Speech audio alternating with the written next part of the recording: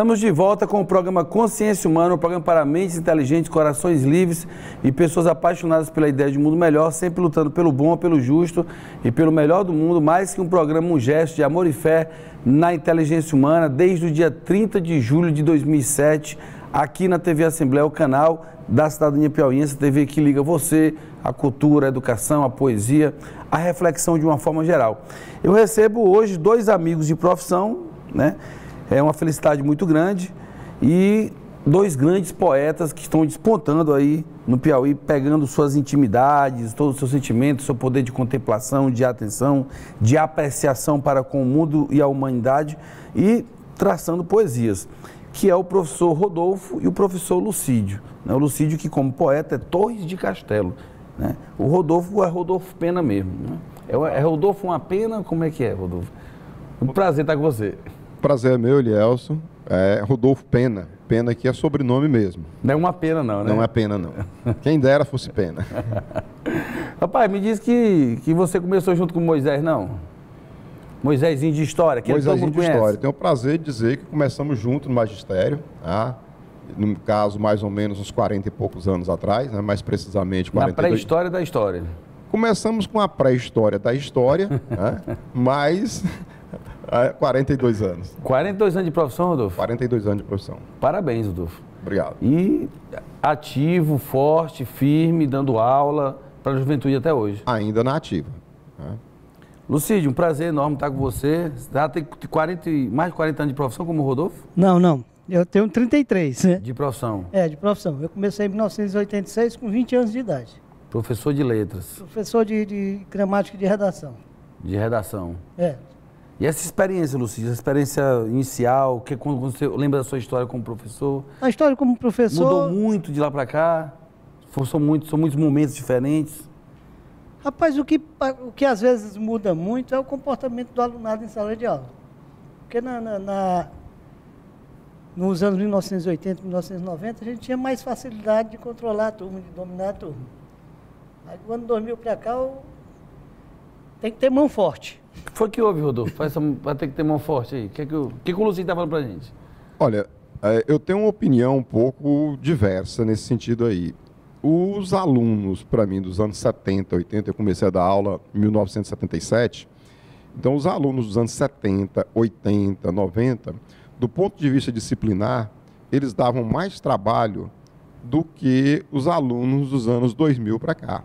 O grande problema que eu vejo dos anos 2000 para cá, do nosso alunado, é a questão da conversinha e a questão, principalmente, hoje, o mais grave problema que temos, o dormir em sala de aula. Dormir. Dormir. Junto com o, WhatsApp, com o telefone, hein? A questão do celular, Celular. do uso da internet à noite. Então, o sono é um problema crucial. Agora, esta questão disciplinar, não sei também devido aos colégios com que eu trabalhei, tá?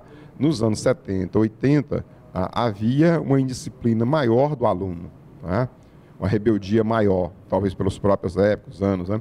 Dos anos 2000 para cá, eu já senti que isso diminuiu. tá? O problema que eu vejo hoje maior é essa questão do sono e um certo desestímulo tá? na questão do estudo. Vai para os dois. A, a relação família e escola, né? Da- do tempo que vocês começaram para os dias atuais, como é que vocês avaliam? Olha, a relação família e escola, ela só tem melhorado porque a escola tem investido mais no convívio com a família do que nas décadas anteriores. Então, a partir do momento em que a escola investiu mais no convívio com a família, passou a haver uma relação melhor. Porque, no- no- na- pelo menos, na- como eu disse, na- nos anos 1980 e 1990, não tinha essa, esse foco, família e escola. O foco era negligenciado. Por isso melhorou. Como é que você vê, Rodolfo? Olha, apesar da gente reclamar ainda da questão da participação dos pais, é, ela realmente, como o Lucídio colocou, ela melhorou muito. tá? Depois que principalmente as escolas começaram a investir mais nessas reu- nas reuniões com os pais, ah, no trabalho com os pais, que o trabalho também da psicologia eh, começou a funcionar nos colégios, porque a gente tem que reconhecer que nos anos 70, 80, 90, a psicologia basicamente não funcionava nos colégios. Poucos eram os colégios, por exemplo, da nossa cidade, que tinham um psicólogo. Hoje, são raros colégios que não têm dois, três, quatro ou mais psicólogos. A demanda é muito grande. Então, com todo esse trabalho, é, houve uma proximidade maior dos pais com o ambiente escolar. Agora, a gente precisa dizer, melhorou sim, mas ainda falta muito para que as nossas famílias aproximem-se mais do colégio, aproximem-se mais do ambiente escolar, vivenciem mais esse ambiente. Os dois professores trabalham com disciplinas que são principalmente teóricas, que exigem muito da leitura, da reflexão, da criticidade, da análise, da inferência. Ou seja, um trabalha com letras, outro trabalha com história. O mundo hoje está muito mais adepto à tecnologia. Isso tem, de certa forma, intimidado, vamos dizer assim, o, o, nascimento de grandes leitores. Daqui a pouco a gente vai falar da, do, do, fato que são escritores também, vocês, mas intimidado o nascimento de grandes leitores. A gente tem pouca leitura, principalmente no Brasil, com as médias estatísticas do país com relação a outros países do mundo. Como é que o Lucídio e o Rodolfo analisam é, esse comportamento das pessoas com relação ao ato de ler?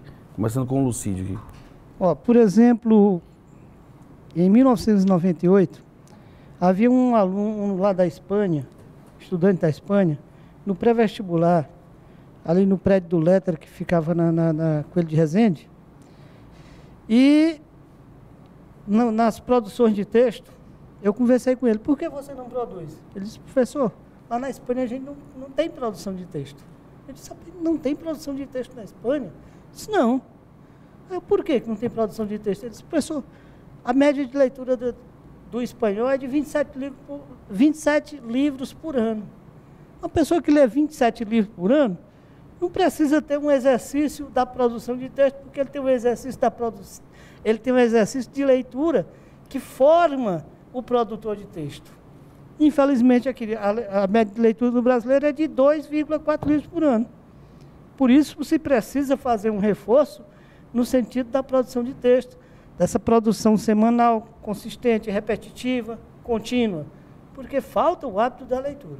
Eu acredito que se o Brasil chegasse a esse padrão espanhol, a esse padrão europeu, padrão francês, de ler em média 30 livros por ano, ficaria bem mais fácil a questão da produção textual. Mas como o Lucidio colocou, é, o Brasil sempre teve um péssimo hábito da questão de leitura. Nós nunca fomos bons leitores. A prova tá que essa é uma questão de hábito cultural. Hoje nós temos essa média tão baixa de 2,4. Mas o que eu vejo aqui nos últimos anos. Diga de passagem, Rodolfo, sem cortar você, é que se essa, se, se essa média se traduzisse numa verdade, ou seja, se todo brasileiro lesse 2,4 livros por ano, já estava até bom demais. Isso aí só é uma média, uma estatística. É, porque realmente não, você não pode generalizar. Isso. E nos últimos anos, essa situação vem se agravando.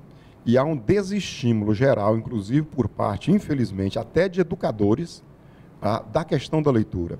E, infelizmente, um instrumento que era para ajudar na leitura, para incentivar, tem feito o contrário, pelo mau uso, que é a questão da internet, do celular e de tudo mais. E qual o reflexo que a gente vê disso aí? É que eu venho constatando isso ano após ano, no simples fato de questões que a gente elabora para o nosso aluno, que está havendo uma diminuição de conhecimento de vocabulário muito grande por parte dos nossos alunos. Palavras que há 20 anos atrás, 30, eu pronunciava na sala de aula e eram comuns aos ouvidos dos pais desses alunos, são estranhas para esses alunos. Eles vêm perdendo vocabulário. Há pouco tempo, por exemplo, eu me assustei quando uma sala inteira ah, não respondeu uma questão porque eu não sabia o significado da palavra arrendamento. E aí que eu fui perceber o que, que estava ocorrendo. Isso está atingindo diretamente as notas, isso está atingindo os nossos alunos do ponto de vista intelectual, porque eles estão com muita dificuldade de se expressar, né? expressar-se tanto é, escrevendo como falando, essa dificuldade existe, e tanto que cada vez mais está se fazendo necessário a presença de cursos de redação, além das, dos cursos que os colégios oferecem. Tá? Agora, o que você constata que também influencia muito? Eu pergunto, por exemplo, cadê os nossos grêmios escolares que promoviam a, a cultura no colégio? Que você olhava os, os murais dos colégios e as próprias paredes cheias de redações, de poesias, Tá? Concurso de redações que os colégios faziam internamente, concurso de poesia que os colégios faziam internamente. Quer dizer, é preciso que haja novamente esse incentivo ao que o nosso aluno escreva, que o nosso aluno é, divulgue os seus conhecimentos. Então, os grêmios educacionais estão faltando muita falta, fazendo muita falta neste processo, porque eles, além da formação política que eles davam ao nosso jovem, eles davam também essa formação cultural muito importante. É, eles, eles têm a ideia, até porque também existem os textos de apoio, e existe também o conhecimento que cada ser humano adquire ao longo da sua formação, né? que é o conhecimento de mundo, tão bem falado por Paulo Freire. Mas falta o conhecimento da organização estrutural do texto, como se produz uma introdução, como se inicia parágrafo de desenvolvimento, como se dá sequência, como se inicia o segundo parágrafo, como se dá sequência, como se inicia o terceiro parágrafo e principalmente como concluir. A gente fala em sala de aula que, no caso do, dos temas do Enem, as palavras-chave precisam vir na introdução. Aí vou analisar 80% das introduções que são apresentadas ah, de início, não tem as palavras-chave. Eu devolvo, olha, você precisa construir a introdução com as palavras-chave do eixo temático. Aí vai pra, para os parágrafos de desenvolvimento, os conectores não estão adequados. Olha, você precisa mudar, mudar esse conector, mudar esse conector. E a questão da proposta de intervenção? Você precisa seguir o preceito, o Enem, de apresentar o agente, a medida, o modo meio, a finalidade e o efeito. E, e eu até apresento um exemplo de conclusão que segue esse padrão, deixando algumas lacunas para eles só preencherem. Mas a dificuldade permanece. Vai de laboratório a laboratório, as dificuldades permanecem. Que mal lê, mal ouve, mal fala, mal entende, Rodolfo. E aí a história precisa do entendimento, né? Na história, mais do que nunca, a leitura é fundamental. Tá? E uma coisa provada, quando a gente, na sala de aula, é, se preocupa menos com o conteúdo às vezes a gente faz isso, e coloca o nosso aluno para ler na nossa frente, você vê que a partir dali o entendimento dele é maior. O que está faltando no nosso aluno realmente é leitura. Ah, não há esse incentivo à leitura e essa coisa vem se agravando. E você percebe uma coisa, eu, às vezes coloco, algumas pessoas colocam que é um saudosismo da minha parte nesse sentido aí. Mas quem aprendeu a escrever, escrever carta dentro da família não tem dificuldade na redação. Agora, pergunte ao nosso aluno hoje, os de 20 anos para baixo, o que é uma carta que alguns não sabem. Tá? Eu vou contar um, um, caso que me aconteceu. Tá? Uma das minhas filhas, quando estava com 12 anos, no colégio que ela estudava, foi pedido que ela fizesse uma carta. E ela chegou em casa e disse: Papai, eu nunca recebi uma carta na minha vida. Com 12 anos, eu já tinha escrito várias cartas e recebido várias. Aí o que eu fiz? Eu escrevi uma carta para ela, fui nos correios, coloquei para ela receber. Para ela foi um choque quando viu aquilo ali, porque ela não conhecia esse tipo de comunicação. Poxa, não precisamos voltar a isso, mas nós podemos escrever através do celular, do WhatsApp e outros meios, escrever. Mas o que, que se faz? Abreviação de palavras, invenção de palavras, tá? uma linguagem completamente diferente. Às vezes você se acha estranho, por exemplo, quando eu mando uma mensagem, alguém me cobra, você escreveu muito. Que eu escrevo como se eu estivesse fazendo uma carta para alguém, se for o caso. Mas quem responde, me responde laconicamente. Então nós estamos precisando quebrar esse laconismo, tá? que não se concebe no meio de tanto conhecimento que nós temos hoje, de tanta facilidade de adquirir conhecimento, porque antes para eu adquirir o conhecimento sobre uma palavra, sobre um assunto, eu tinha que ir uma enciclopédia. Né? Procurar num volume, nem todos podiam ter enciclopédia. Enciclopédia era coisa rara nas casas. Hoje, você tem uma enciclopédia ambulante, mas infelizmente ela não está sendo utilizada. Né? Utilizada devidamente.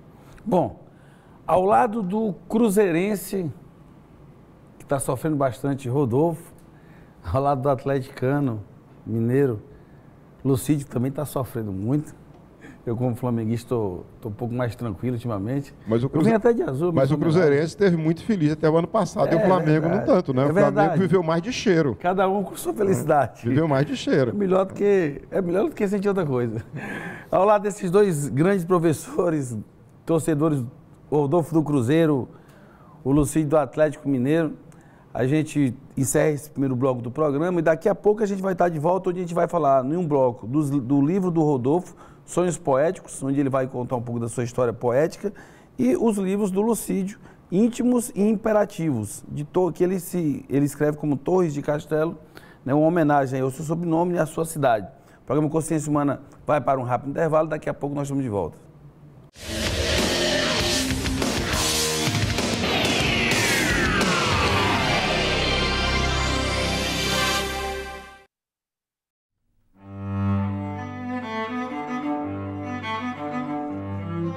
Está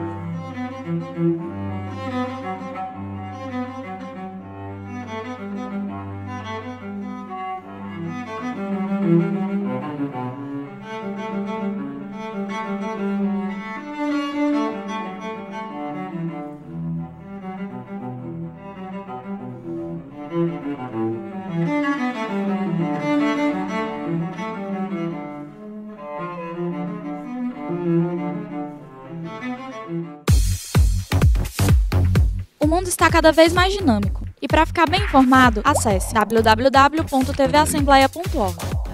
Conteúdo na velocidade que você precisa e mais. Você pode assistir a TV Assembleia ao vivo, onde você estiver. Curta também a nossa fanpage, tvalef.oficial, e nosso canal no YouTube, Legislativo PI. tvassembleia.org é o que liga.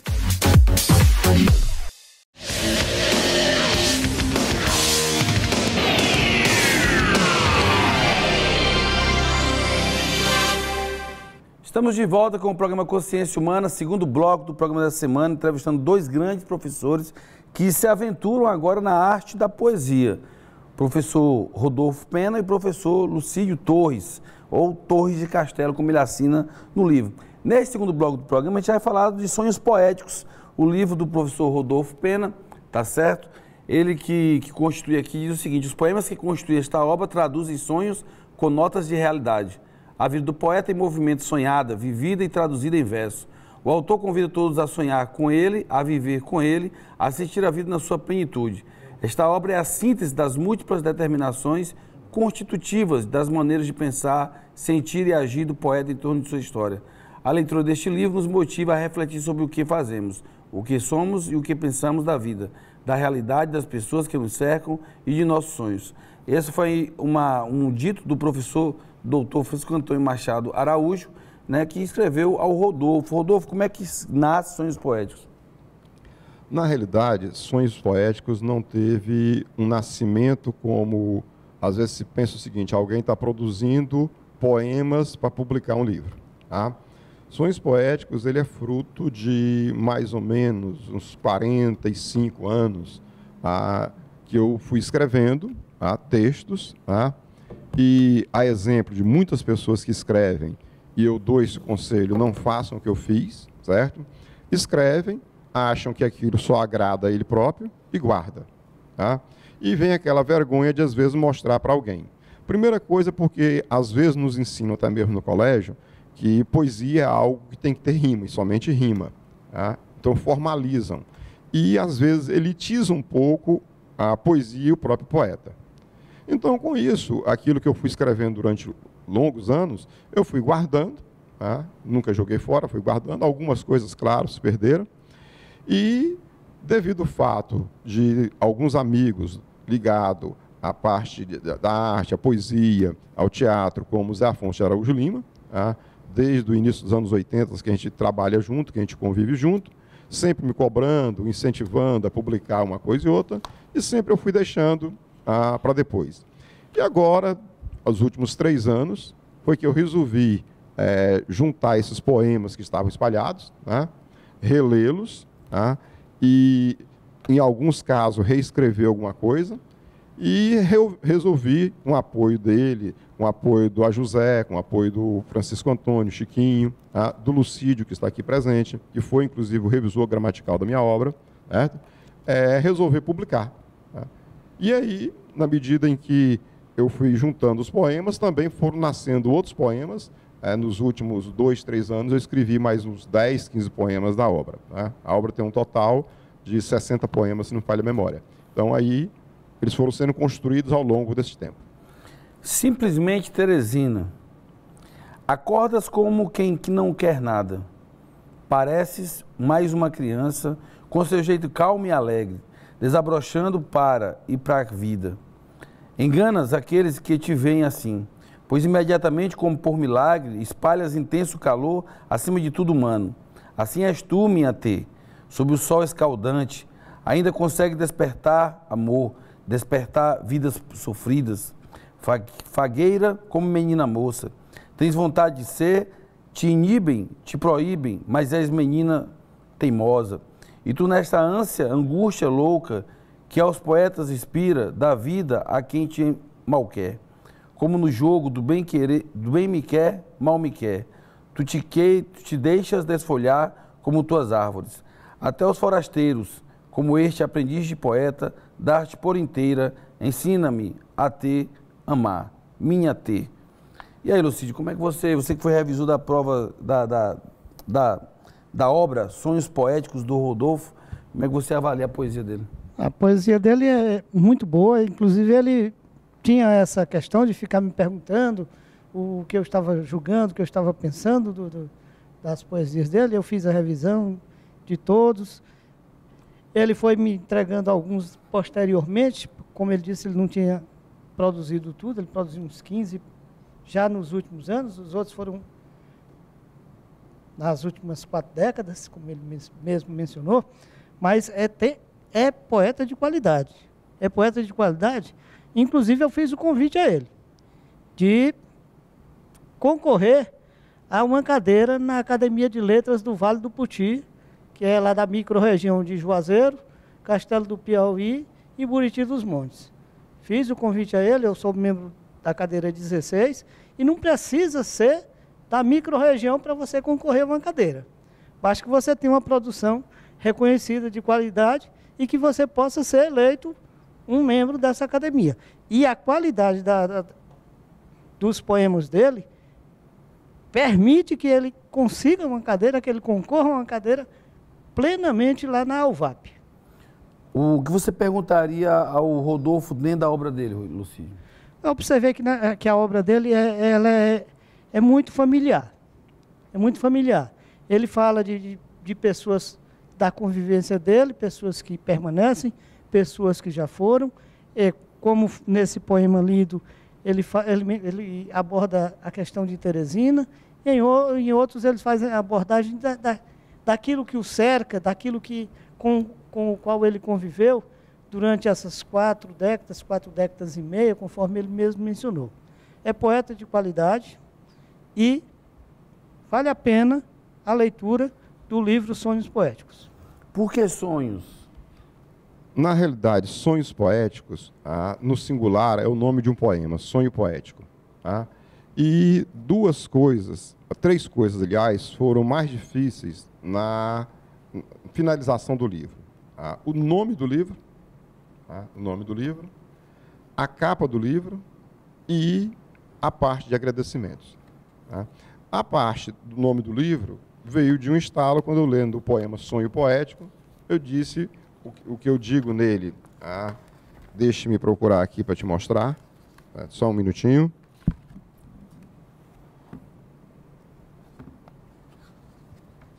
Olha, o que, que eu, em sonho poético eu digo? É o que eu acho da poesia.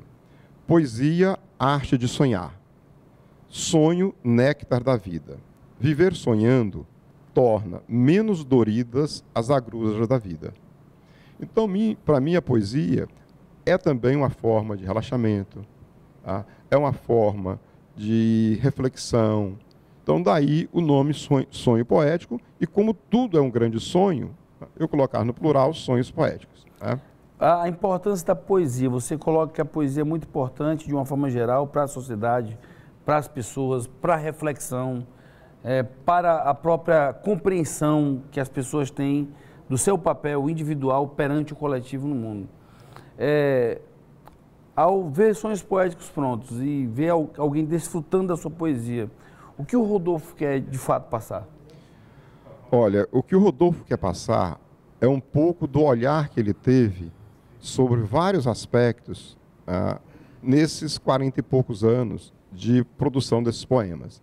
Porque, ao contrário do que alguns imaginam, nem a poesia nasce do nada, e daí ela nasce, como alguns que, a, imaginam, de um momento é, de intensa espiritualidade, vamos dizer assim, em que algo te inspira e você sai escrevendo. Não é assim. Tá?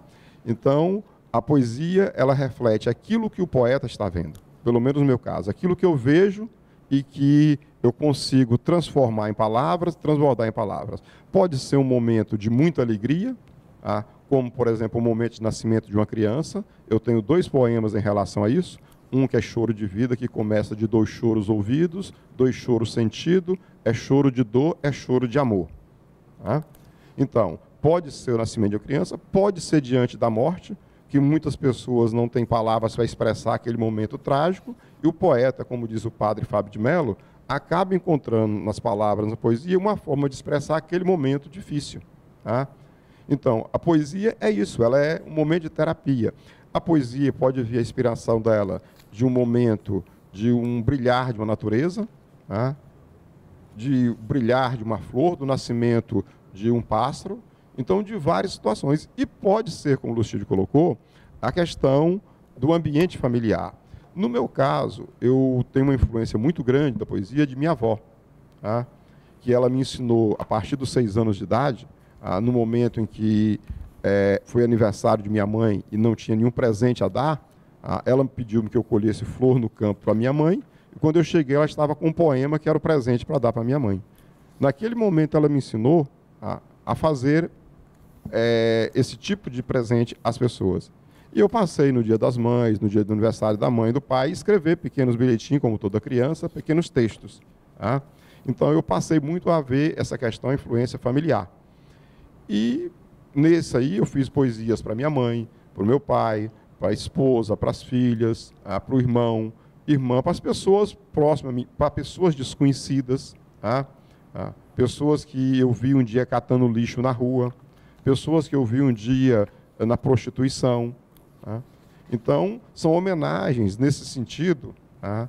é, às vezes se tornam no ambiente familiar e às vezes extrafamiliar. Tá? Mas realmente tem muito essa questão familiar. E aí vem um detalhe: a gente não ter vergonha de se desnudar e de falar de si mesmo.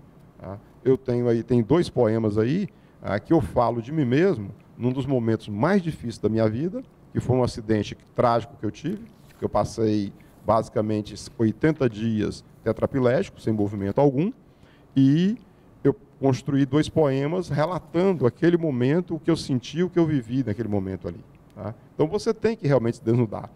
Um exemplo dessa questão do poeta do desnudar é um professor amigo agora recentemente, quando eu fui lançar o livro, tá?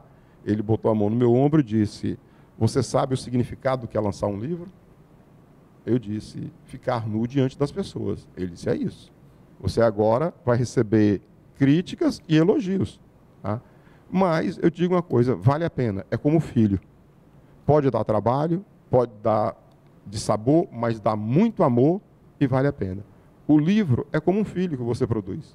Só que no caso, às vezes, como são poemas, você produz 60 poemas.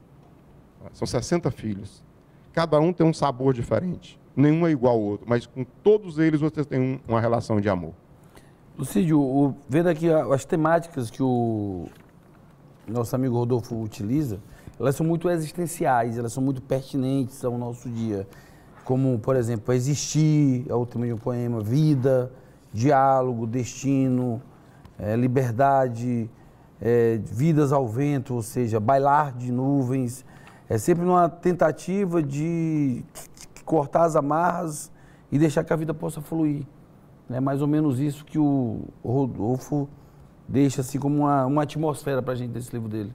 Como é que você, você consegue ver isso ou você vê outras, outras, outras pontuações importantes nesse trabalho, nesse trabalho do Rodolfo?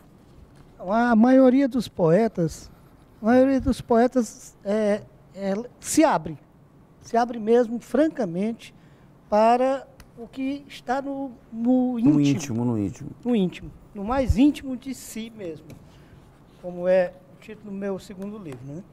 A pessoa precisa se abrir para o íntimo, precisa desconstruir uma realidade para construir outra e expor a realidade que viveu para quem não a conheceu.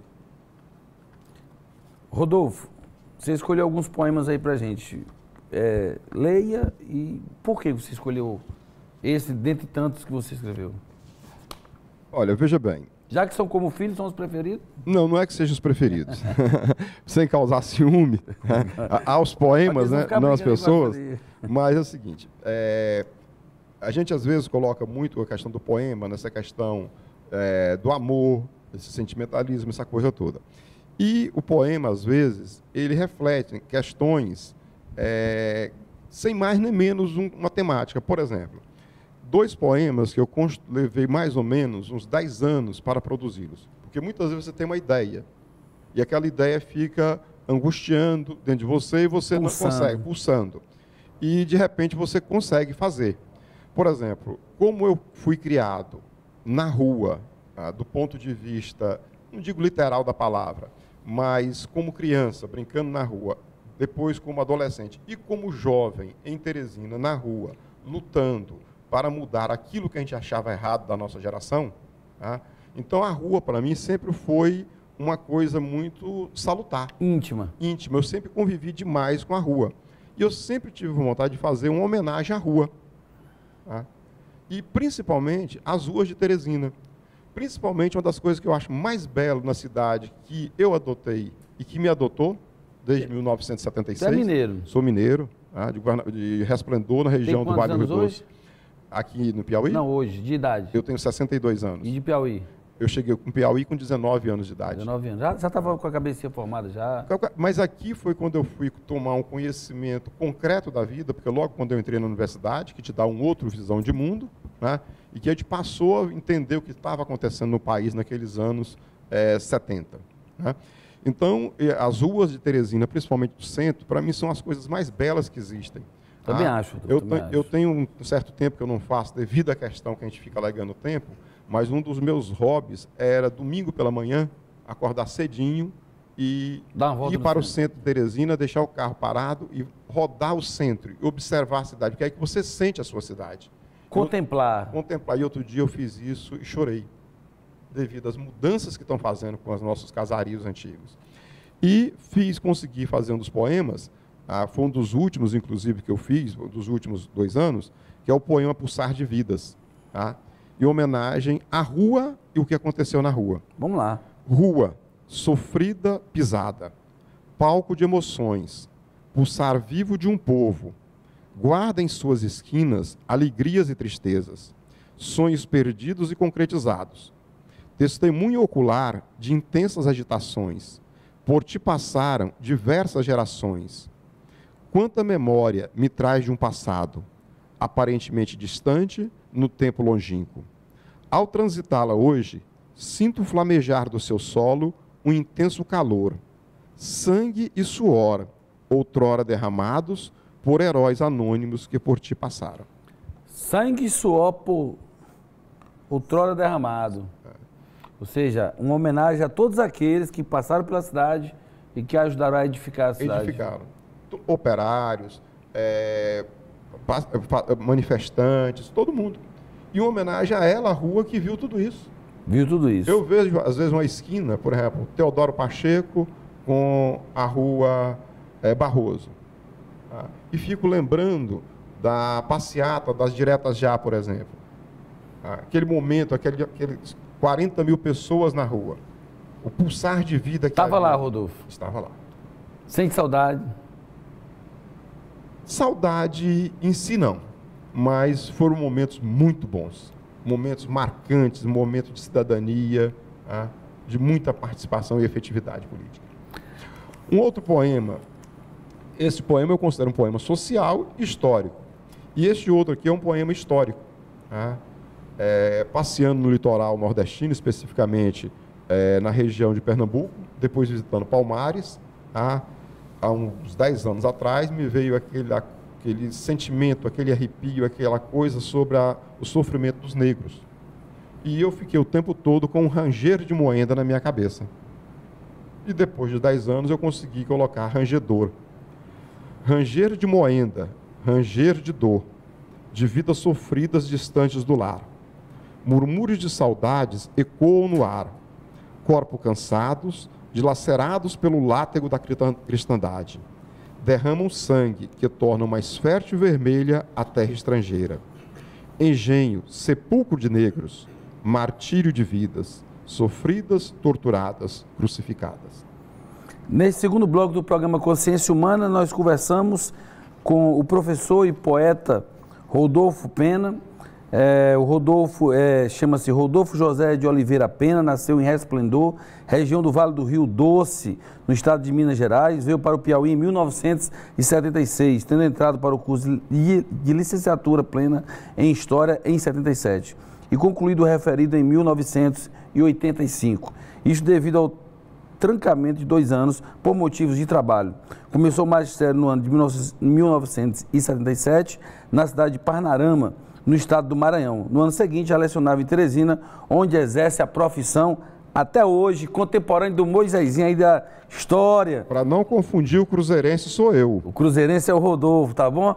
Então, gente, a gente vai para um rápido intervalo. Daqui a pouco nós estamos de volta para o último bloco do programa Consciência Humana, onde vamos estar falando agora do livro do professor Lucídio, torres ou torres de castelo, íntimos e imperativos. Vamos ali e voltamos já.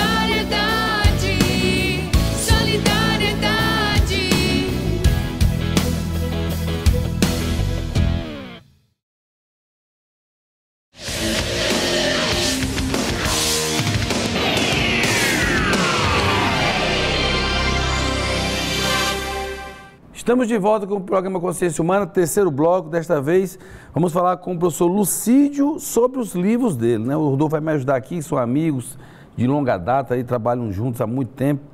Né? Eu estava nascendo, eles já trabalhavam juntos. Se fosse em Minas Gerais você falar amizade entre um cruzeirense e um atleticano, Pô, não é? Se tivesse armado, tinha tiro no estúdio. Mas vai pro YouTube aí, você não pode andar lá depois. Não pode não, porque aí vão dizer que são falsos. então veja bem, o Lucia até brincava que encontrou o Raul Seixas lá na Paysandu, falava de ruas de Teresina, né? Encontrou o Raul Seixas na Paysandu, Lucia? Foi, encontrei Raul Seixas na Paysandu. Eu estava saindo de uma... Da, eu estudava lá no Visão, eu fiz o ensino médio no Visão. Hum. Eu estudei até oitava Estudou série. e trabalhou.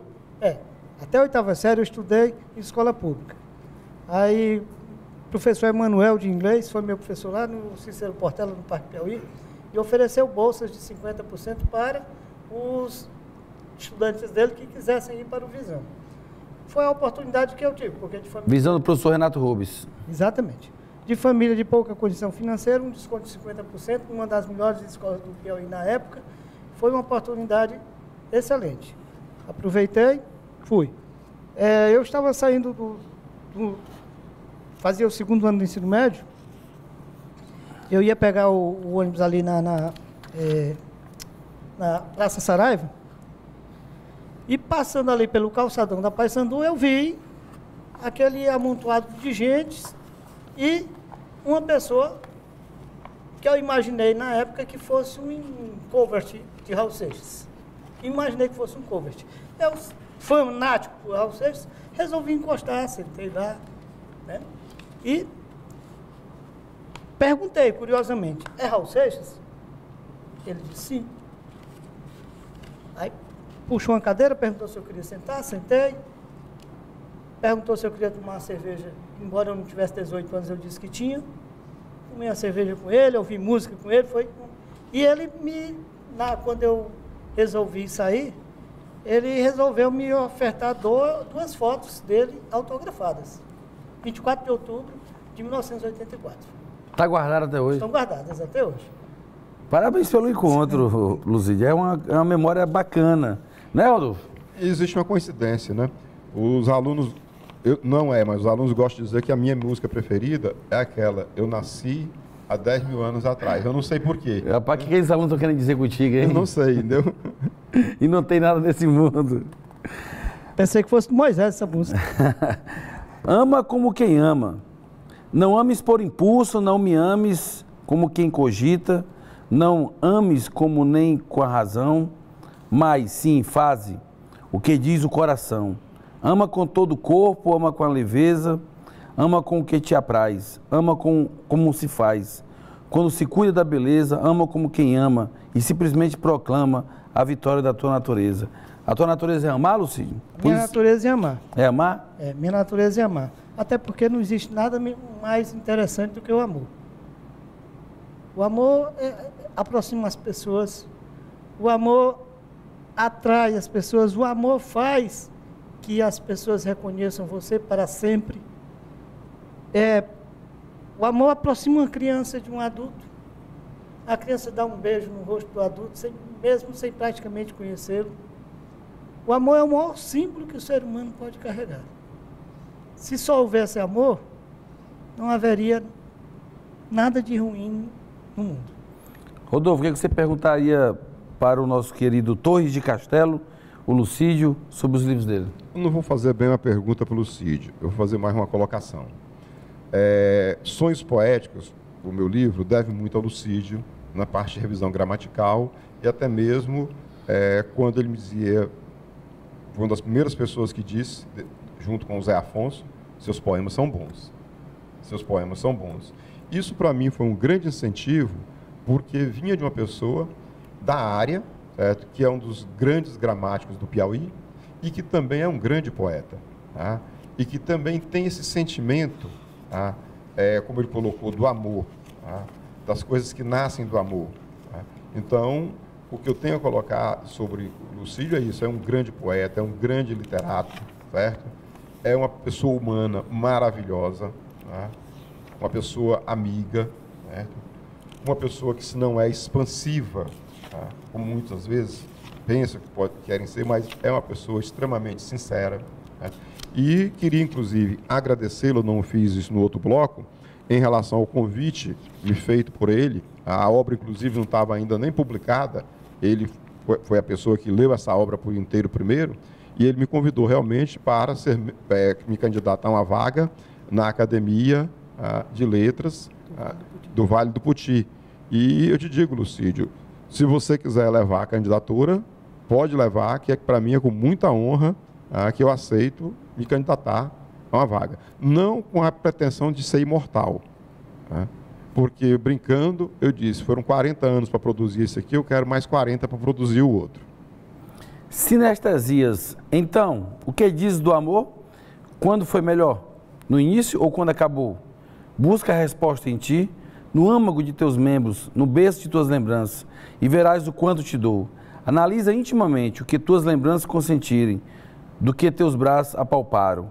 Do que teus ouvidos já ouviram, do que teus olhos perceberam, do que teus lábios já tocaram, do que teu nariz já aspirou e que tuas querências predominaram. O que diz do amor? Você já falou que é a coisa mais importante do mundo, porque você colocou o amor no livro que você chama Imperativos. Por incrível que pareça, o livro Imperativos, que é o meu primeiro, publicado né, em 2018, traz os últimos poemas que eu escrevi. É, eu sempre fui admirador de Cecília Meirelles. Aí eu recebi um livro de Cecília Meirelles em que todos os poemas do livro dela são com verbos no imperativo e eu, poeta inferior, muito inferior a Cecília Meirelles, eu assumi o desafio de fazer um livro totalmente com poemas também no, com verbos no imperativo. O livro dela tinha 27 poemas com verbos no imperativo, eu resolvi fazer 27 poemas com verbos no imperativo. Um desafio enorme pela gigantesca desproporção entre Cecília Meirelles e Lucídio, autores de Castelo. É, talvez a, a desproporção está mais na fama do que na letra, propriamente dito, né, Rodolfo? É, porque a questão da poesia, a, a gente às vezes se considera muito é, inferior, como você está colocando, a uma Cecília, a um Carlos Drummond e outro, tá?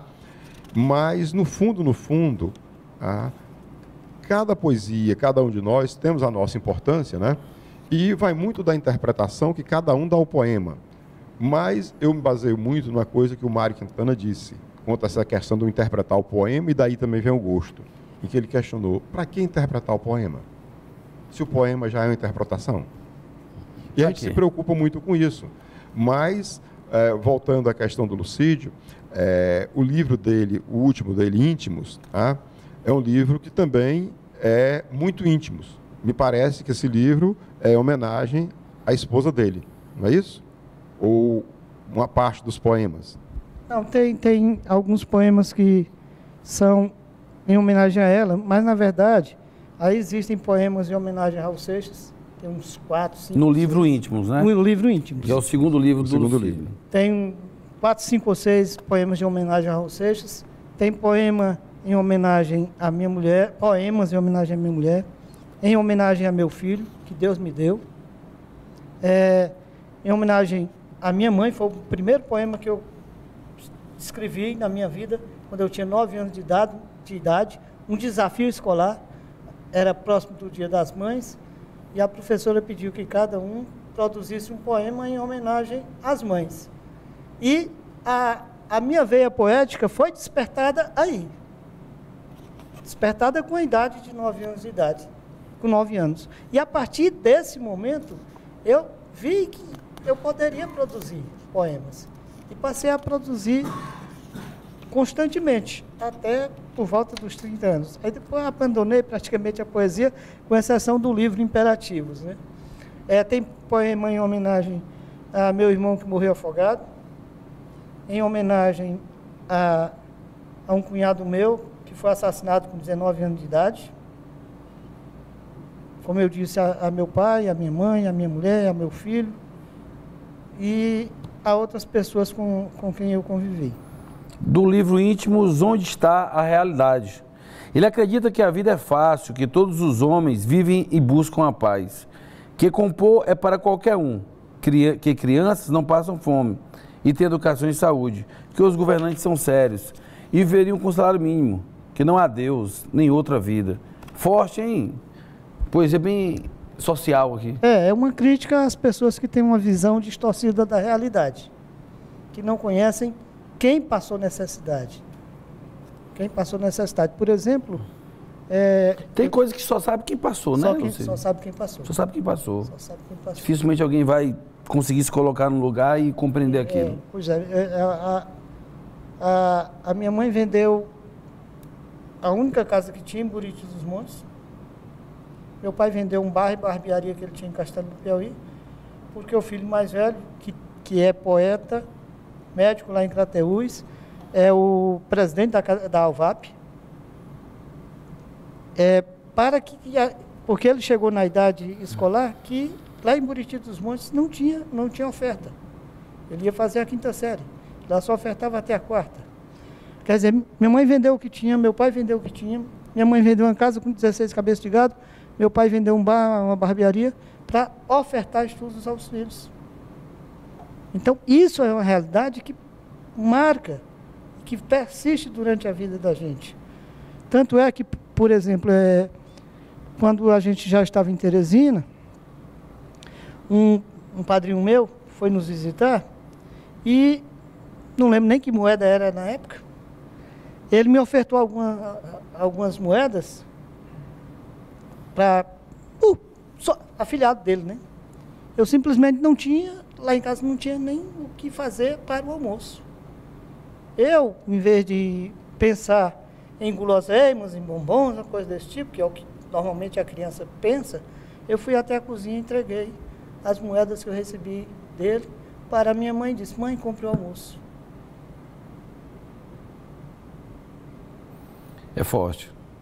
Muito forte. É forte, é forte porque você resgata aí toda uma memória afetiva, você vai buscar toda uma construção da sua própria consciência, vai relatar ali passagens muito próprias, né? E vai transformar tudo isso em poemas que muitas vezes alguém vai ler e como o Rodolfo disse, não precisa interpretar porque o poema já é a interpretação daquele momento. Às vezes você, às vezes você se identifica com o poema, né, Rodolfo?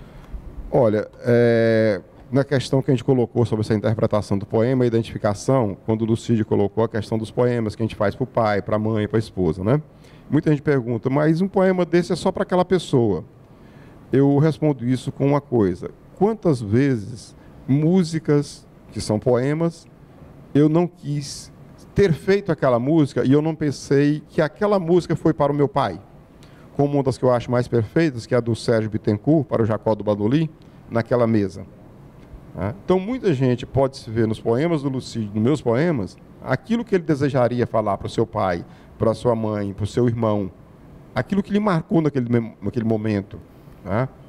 E essa questão que o Lucídio coloca do viver, do sofrer, para a gente saber o que é e dar valor. Né? Eu não gostaria que os nossos jovens, que as pessoas precisassem sofrer, mas só realmente dá valor a essa coisa que tem aqueles que não tiveram, que vieram de lá, que lutaram para chegar onde chegaram, mesmo a gente não tendo chegado a riquezas ah, como outros chegaram. Riquezas materiais. Materiais. Mas, por exemplo, quando eu vejo, eu me constituí gente no Piauí. Tá? Mas para chegar até aqui, eu passei muitas, muitas dificuldades. Não passei fome, mas estive perto de passar. Imagine o que é um jovem no Piauí com 18 anos de idade. E com 19, eu que morava com o irmão, fiquei sozinho, com meu irmão foi morar em outro lugar. E ter que conduzir a sua vida. Né? E muitas vezes desempregado. Né? Então, é a realidade que a gente enfrenta, e essas realidades é bom que elas vão moldando a gente, vão dando caráter, vão nos ajudando. Muito de sonhos poéticos, como eu sei que muito de íntimos e imperativos, é essa vida que a gente teve. Bom, o programa Consciência Humana conversou essa semana, conversa com dois grandes professores, professor Rodolfo Pena, professor de História, professor Lucídio Torres, professor de Letras. Eu poderia explicar o, o, o título pode íntimos. Ficar à vontade, pode ficar à vontade. Título íntimos.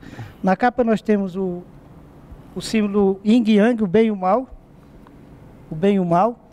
E o título íntimos é porque dentro de nós existe aquele conflito constante entre o bem e o mal. O bem e o mal são íntimos de todos nós. Como naqueles desenhos animados do Tom Jerry, em que chega o anjinho e diz para fazer algo bom, aí chega o, o diabinho. o diabinho com tridente e diz para fazer algo mal. O título íntimos, a capa, yin yang, bem e mal, é em relação a isso. Rodolfo, muito obrigado pela oportunidade de nós conversarmos aqui no programa Consciência Humana tá certo? E fica sempre à disposição para falar de história, falar de outras memórias afetivas que você tem e contar um pouco daquilo que você vai pensando sobre o mundo. Eu é que tenho que agradecer e queria convidar é, o público em geral para no dia 7 de outubro, às 7 horas da noite, na Livraria Anchieta, participar do café literário do professor Wellington Soares, organizado por ele, no qual eu vou ser uh, o poeta homenageado. Lucídio, muito obrigado pela oportunidade, tá bom?